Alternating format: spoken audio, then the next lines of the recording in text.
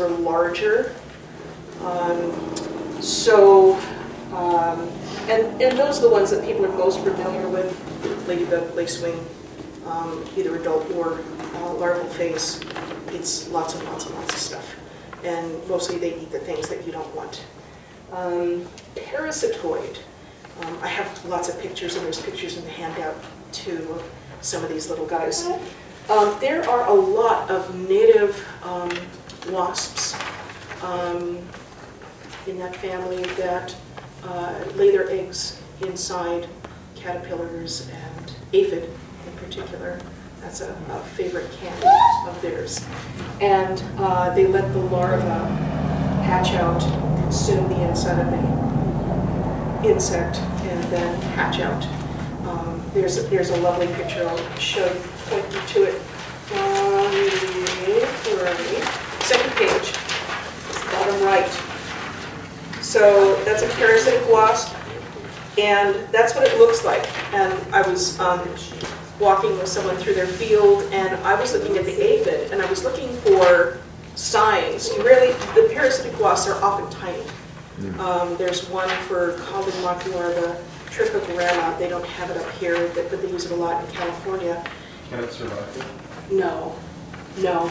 Um, my friend um, Jan down at Vitova in Ventura, she has worked with UC for a long time trying to breed hardier uh, strains, and they just can't get it much north of. They're using them in walnut orchards um, in uh, Chico area, but that's about as far north as they've been able to do is, is in the Sacramento Valley. Can they actually control aphids with the wasps? Because aphids, you know, Yes. they, yeah, that, Yeah. they lay a lot of eggs. They lay a lot of eggs, and so I was Does looking. it, but it has to for be aphid- that kind of It wasp? has to be. Um, there are others, braconids, there's a number of them. What Um, about some those ones that that do the commercially. beautiful paper? Oh, no, those are- those, yeah, those guys are more Those we predators. just call bastards. It's the same. Yeah. Right, Bastards. They, they eat their, yeah, yeah, wasps they're just more eat it. predatory, Yeah, they're yeah. just Just a predators. regular wasp, you call them that, but they actually do something, so I don't Yeah, know they that, there's a lot. Right. Yeah, but I don't know that, they just need to be where they're supposed to be. That's the thing, and that's what, that's what I'm trying to talk about in this particular workshop is, um, they're only a bad guy if they're doing what we don't want them to do. Well, Um, it come to your another dinner when you're on the patio. I Right. mean, they all swarmed enough to get you off the patio. so- Sting you while you're butchering an animal. Oh, Like wasps like to smell You're meat. it too much. They love it, yeah. they want to be on it. So a lot of times I just don't do what I know makes them stop, yeah. And, um, or I do the things that attract the guys I do want. Um, so, um, there was only one year that I had trouble with, um, with yellow jackets. And, uh, I just put out traps with little tasty treats for them. And, um, yeah, and I've also had trouble with them getting into my beehives as well. And just have to really monitor and make sure that I do a lot of trapping in and around the area where they're flying. And I also found out that, um, they like to scent trap along the ground, so rather than hanging traps in the eaves of the buildings, I was putting them down around the corners of the building. And that helped, and I would see them just like scent tracking along the ground, and I caught a lot more. Well, We have drought, and um, we have to water everything, Yes. 65 days to overnight.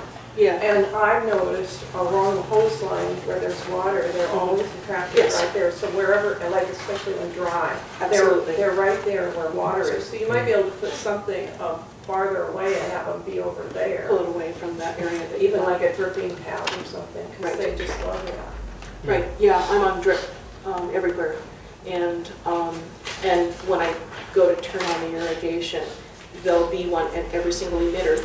So what I tend to do is, um, I want to work in the garden in the morning when it's cool, Yeah, so I don't start the irrigation cycle till I'm done yeah. with garden chores. And then I'm not having to like look at every single emitter. Wasps, wasps don't fly at night. They don't, they don't. Um, I've tried gardening by headlamp. Uh, Full moon, I can do that, um, a little hard. No, I was just saying if you watered in the evening. and- Yes, and overnight is less evaporation as well. But yeah, I just don't know why. Aren't, aren't good pollinators? They are. Yeah, Well, there's- that- that's why they need to not be at all killed. Yes. Because even in Spokane, a lot of people are really into killing them all. But Yeah, I I- I begin to believe that we just need to channel them in other places. I do don't, not like them to come to my dinner, but, you know, maybe have dinner at a time they. Where do they need to go is what none of us know. Where That's is the ramp, thing, please? is, so, so, I'll just jump ahead. There's a couple of um, uh, families of plants that I plant a whole lot of, and lots of different types. And the legumes, because legumes, so pea bean, um, so I have five, six different uh, clover types as cover crops in different places in the garden. I use different ones in different places, um, create a nice mosaic. Um, I have lupin in the fields, um, a little bit of volunteer alfalfa in one of my other fields. And so there's lots of um, orientations. There's, in Washington State alone, there's like 600 native um, bee and wasp species. um, What was the benefit of those legumes? I didn't hear that. Um, the floral arrangement, it, well, the type of nectar is the type of things that they, Hymenoptera, Hymenoptera really like. However, you also need a protein source, umbels. So that's the, the diet, umbels. So that's, uh, ca- anything that has the, the umbrella top, so carrot, um, lomatium, um, Dill. yeah, dill, cilantro, all those guys, yarrows, um, anything in that family provides the, the pollen for protein. Yarrow is actually gas. Is it? Ah, it is, I get it too. Um, so, um, it's, basically I'm laying out the dinner table for the guys that I want to come in. So kind of the whole big permaculture picture, you're gonna Absolutely. plant these flowers further away Right. to draw them away and everything. Oh, I have nice. paths, I have things under the orchard trees, I have different things over by the strawberry patch. And so biodiversity, so here's the thing, Mints, they love mints. yes, they do. Um, Like catnip. So, so the first thing is, um, walk and observe. And, you know, who do you have, who do you want to be hanging out in your field? It was like the Wisconsin apple orchard, feel the niche. Um, so I have another story about, um, I used to work for a uh, organic farm supply place in Wenatchee after I left the research facility. And um, there was a guy that wanted to grow 3,000 acres of potatoes out in the Columbia Basin, and he was going to make a million bucks selling organic french fries to the Japanese. And, and so I suggested something that we had put together, we called it Bug and Breakfast Blend. And it was uh, a variety of both cultivated and wild plants. And I suggested that he plant a row of that instead of potatoes about every 200 feet. Um, and uh, I went out one time because he called and I got these bugs and I have no idea what they are. And I sort of know what to do about it. And so we went out and I was walking crosswise across the field over the rows. And I could tell, even before I could see the row of bug and breakfast, just the things flying in the air. And I also had my, you know, Peterson's insect guide. And so we're sitting there, I'm trying to key it out. It's a psyllid. And he's going, a psyllid related to aphids parasilla. It's a soft-bodied insect. Not a pest for potatoes. No, I was it was tiny. there a He had it similar in a problem jar. zebra chip in the potatoes? Um,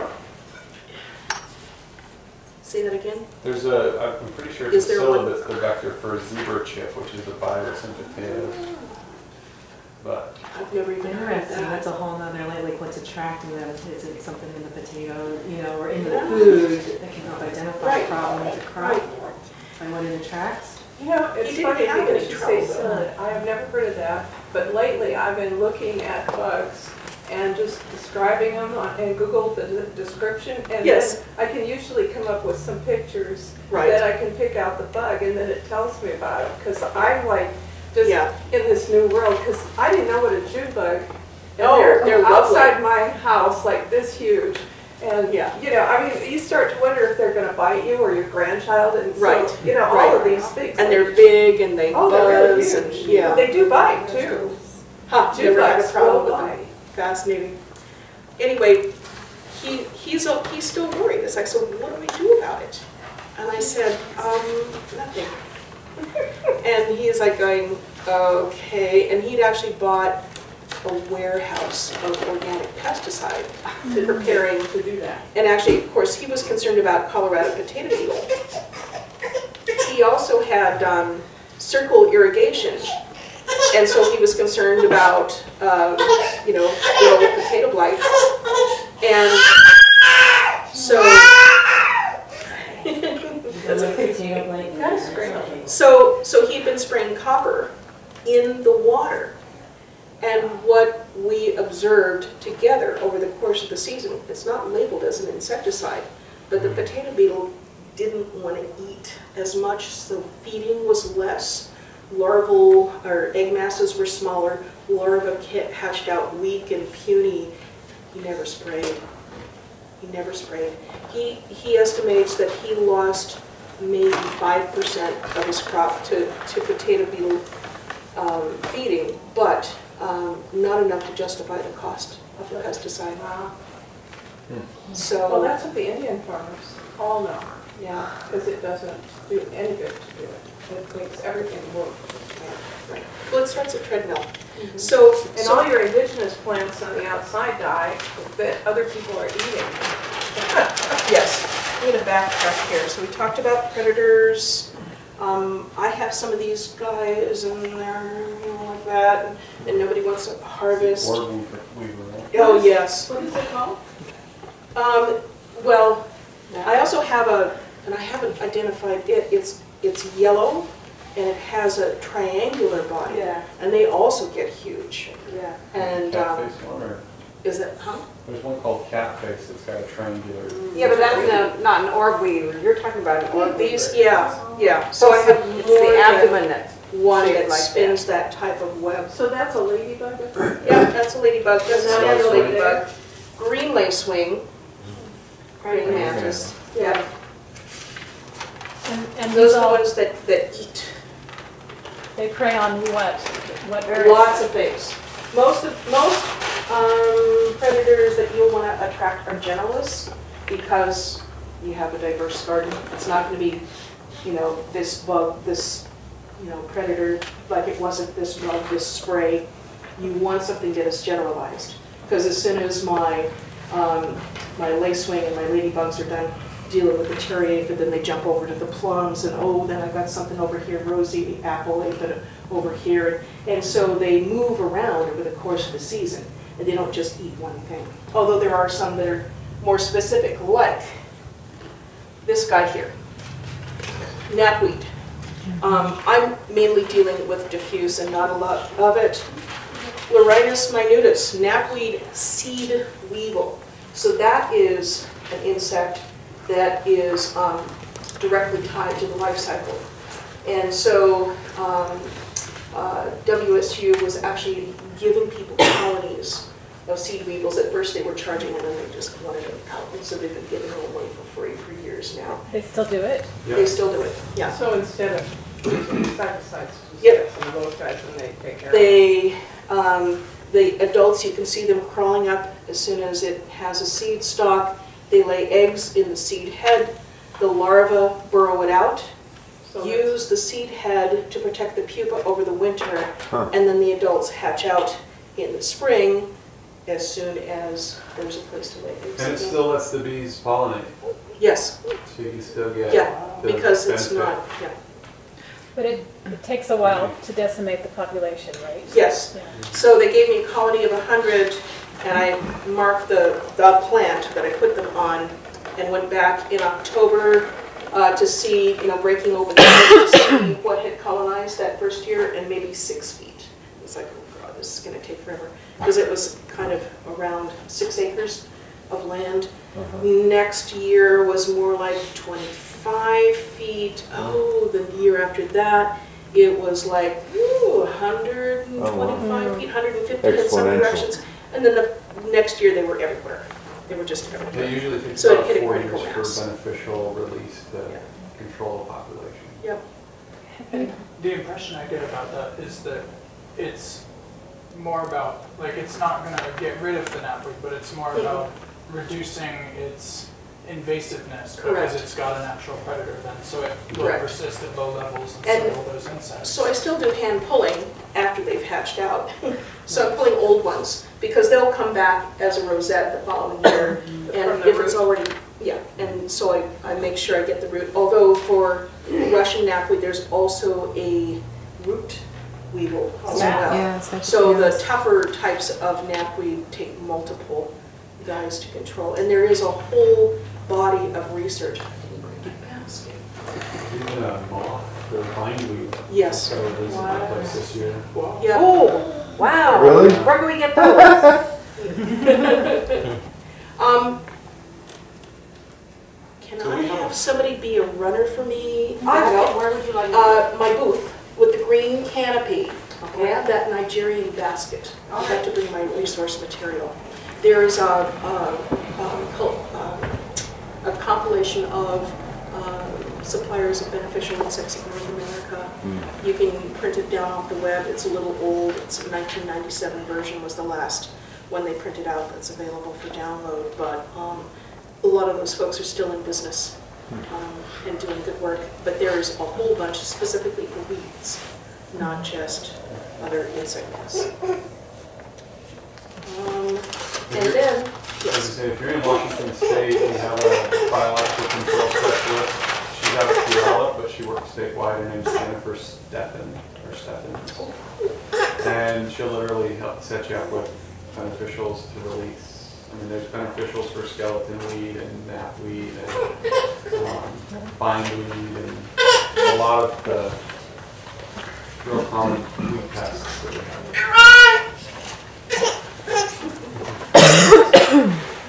Um, and then the section that we haven't talked about yet are pathogens. And so there are good viruses. Um, Nosema locustae uh, for uh, grasshopper um, is a mycoplasm, and actually it uh, is live. And so they um, put it on bran flakes and spray it with a little bit of molasses to kind of sweeten the deal. And you just are out there with a shaker can. Shake. I usually go to the edge of the, the garden because they'll be out in the dry stuff and then they'll want to hop in the garden and then go back. And um, so um, it So is live in there. Absolutely indoctrinate them with something that. Absolutely, and it's, because it stays live, it passes through the egg to the next generation. Um, even if it doesn't out and out kill them, it'll slow them down, give them a stomach ache.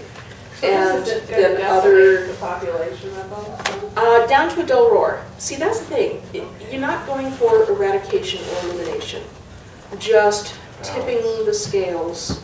Yeah, so It's they. like we have grasshoppers out there in the tent area. Yeah, I mean, grasshoppers really aren't that big. Yeah, I've Unless seen they're them. locusts. really awful. Yeah. But um, that tells me that something else is out of balance. Yeah. You know, so, Like um, not enough so water. this whole idea is trying Duck to shortage. um, achieve this dynamic equilibrium. Yeah, that's Things the will thing. always change over Because time. you don't want to decimate them. Is there any issue with that It's really Nosema interacting or engaging with the one that affects the bees?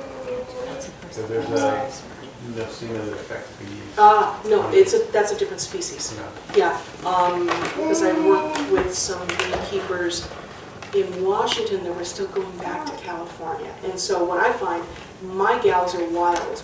The f- I had, um, I had commercial bee strains for a while, and then after the fires, um, they burned them out of their hollows in the forest, and literally they just arrived on my fence post at the garden. So that was another thing that came out of the forest, and I just put a box underneath and kind of, you know, broomed them in and put the lid on, and they called it home. Although I lost one um, just about a month ago that says, no, we found a spot back in the forest, we're out here. Yeah. So, we get there faster than the, the, what do they call it, the bees that go out to forage for a new spot. if they find swarm, a, yeah. if they find a place before you get them taken care of, they'll just take the swarm. 'Cause Yeah, yeah. They just tell them, we found a spot, this is all out here. Yeah. But it was good to have them, they were different. They were different than commercial strains, behaviors were different, Mhm. sounds were different, feeding habits were a little different.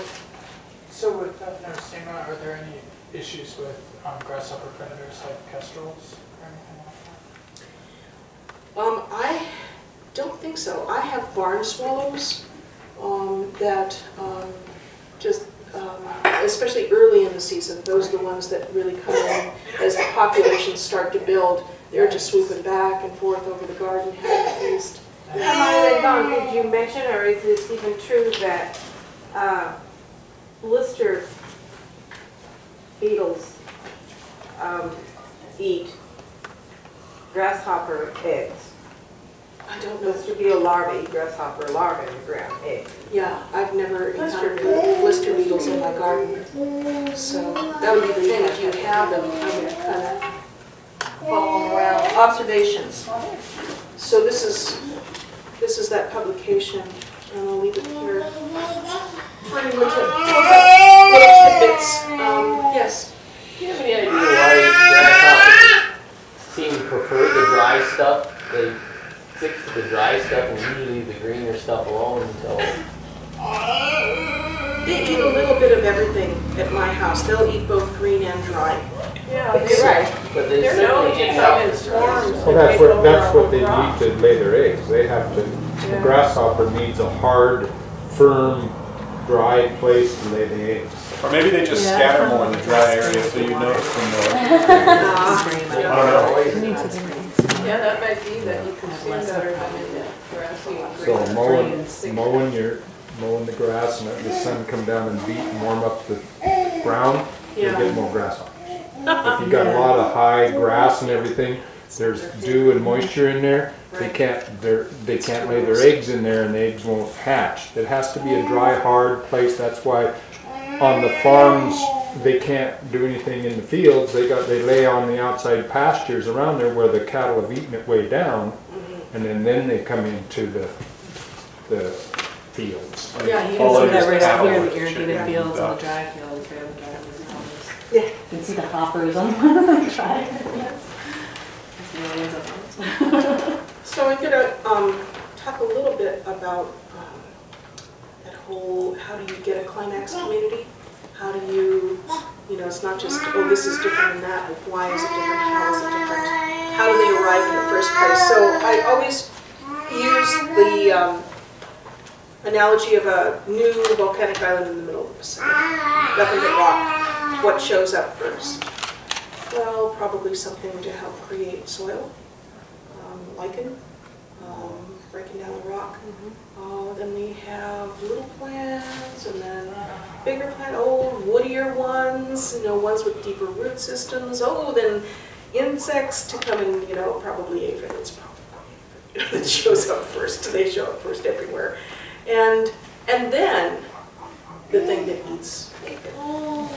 Because, you know, you can't invite somebody to dinner and not put something on the table.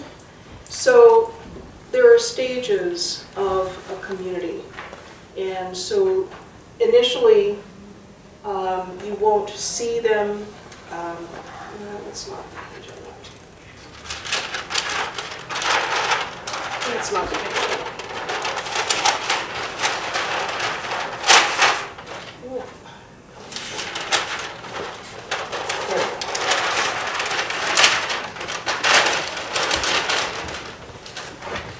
So initially, things will show up, of elbow room, lots of space to spread out, don't really have to worry about much. And then more things show up and start bumping into each other. And populations of different things will start to interact. And maybe it's good for them, maybe they have symbiotic relationships, and maybe they don't. Maybe they start competing for space, for nutrients, for habitat. And then um, things start to sort themselves out. And so you'll see changes. Um, This is eating more of that. This decided to move over to this side of the island. And then at some point, like the Galapagos, they will start developing unique adaptations for their particular place and are either better adapted to living there or die off.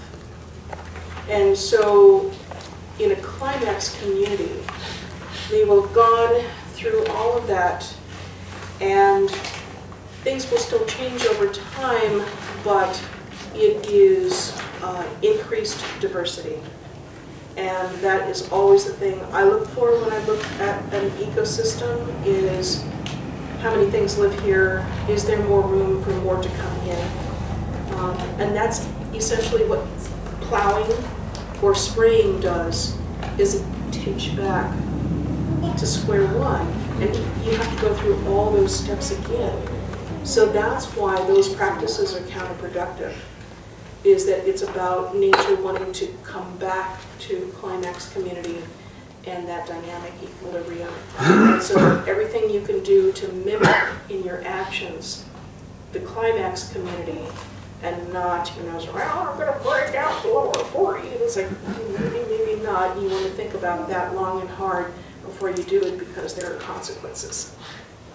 Um, You know, I I watched a PBS special recently on this diversity thing, and apparently Darwin was really into orchids, which I didn't know, I thought he was more into this whole thing about the species thing, but orchids were his specialty, and he found that when they started to specialize, and it was all about sex, because they needed to get pollinated. oh, right.